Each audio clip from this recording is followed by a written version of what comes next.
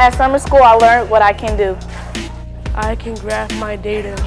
I can make a chemical reaction faster by using temperature. I can make an argument based on evidence.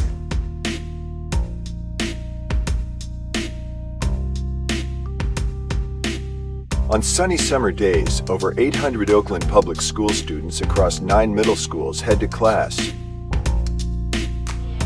Oakland's successful middle grade summer STEM program has three key elements community partners, coaches and chemists, and captivated kids. Certified school year teachers provide academic instruction in English and math with fun and engaging morning activities.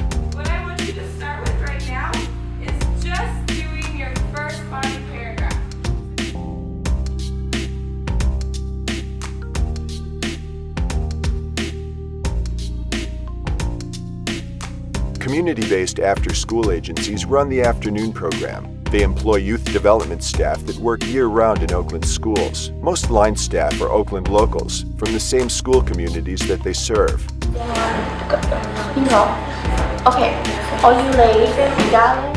Afternoon is where these school community partnerships really shine. Kids get healthy meals and snacks, and after lunch, students gather for community building activities. Then, afternoon staff teach enrichment classes like art, dance, sports, and computers.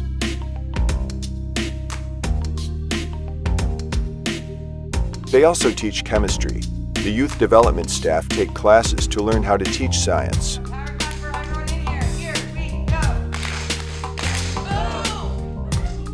With this summer STEM program, you know, it's very hands-on. It's uh, chemistry focused.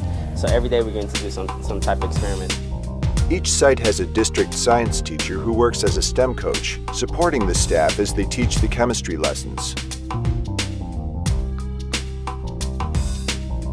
Science researchers aren't, you know, just sitting there memorizing the names of chemicals. Science researchers are mixing things together in an informed way to create new products. So, you know, when students experiment and they fail, it's not like, oh, I'm failing, it's so horrible. It's like, I failed. Let me do that again. Let me try it. Let's, let's work it out. Each of the schools also has field trips and an Ask a Chemist Day, where students get to meet a career professional and share information. As you play around with both kinds of bottles, you'll see I treated the inside of the bottle with a chemical and I made it uh, not stick inside the bottle. Not only do the students enjoy the STEM teaching, but the coaches and all the staff, they enjoy teaching it. Some call it the summer slide. Kids lose ground in math and reading when school's out for summer. Over time, this leads to an achievement gap between kids from different socioeconomic backgrounds.